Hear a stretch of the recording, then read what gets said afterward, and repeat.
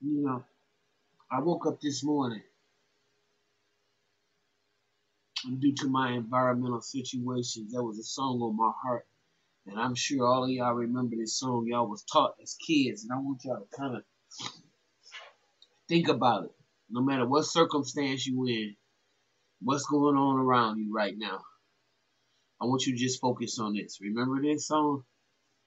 He's got the whole world in his hand. He's got the whole world in his hand. He's got the whole world in his hand. He's got the whole wide world in his hand. He's got you and me, brother. In his hand, he's got you and me, brother. In his hand, he's got you and me, brother. In his hand, he's got the whole world in his hand. He's got the little bitty baby. In his hand, he's got little bitty baby.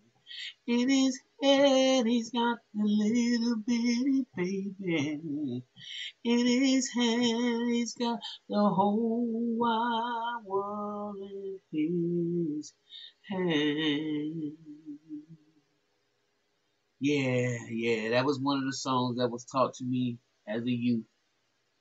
And the older you get, when you understand that certain circumstances that you can't control, that you wish that you could, you have to understand that somebody, something is maintaining this ecosystem. So, whatever vision you have for life, whatever uh, thought process you have, just know that there's something bigger than you. And um, it's got the whole world in, in our hands. yeah. So good morning, good evening, whatever side of the diaspora that you may be on, family. Welcome to the Mental House with me, your host, Khadijah. Um, I'm I'm I'm trying to maintain. I'm I'm having a lot of um, physical sadness going on in my environment. So y'all heard me do videos about my uncle Jamie. Uh, unfortunately, well, I'm glad he's made his transition, so there's no more suffering for my uncle. And um, he made his transition, and and I guess it's really freaking me out because last night as I was down there with my father, and um, you know, giving him food actually and talking to him, giving him some touch and letting him know that he's loved. He hasn't seen his brother in over 50 years. And um, he called out to him yesterday, and it kind of surprised me. He goes, James? James? And um, so it wouldn't surprise me if the end is near for him. Um, but I needed to do this to have full closure for our relationship and to bring it back home for us. So, um, with that being said, so I'm going to get my um, self off of here right now and just begin to um, go into a little universal meditation. Um, like I said, I'm going through some very um, emotional environmental changes right now. You know, even dealing with from my brother on, they have still no suspects in his murder. Um, so 2021 is going to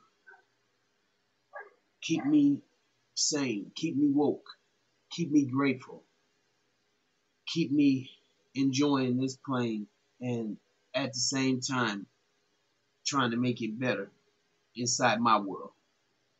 Okay? So with that being said, I just wanted to um, acknowledge my Uncle Jamie, give him a shout out, rest in peace. My Uncle Jamie was a good dude. He was crazy. He, he you know, I told y'all the story about my uncle Jamie. He got shot in the head. The bullet was still lodged in his temple. And when the police came in, into his house, he was walking around and they were just staring there looking at him. This is just the personality of my uncle. And the police were staring at him because they saw his blood running down his head. He got hit right above his temple. And my uncle is the original Bernie Mac. And he walks through the house. He's from Gary. and the police was there. And he said, What's wrong with y'all?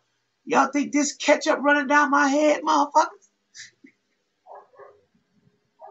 All that while had, had a face full of blood. That's my Uncle James. That's my Uncle James. I love you, Unc.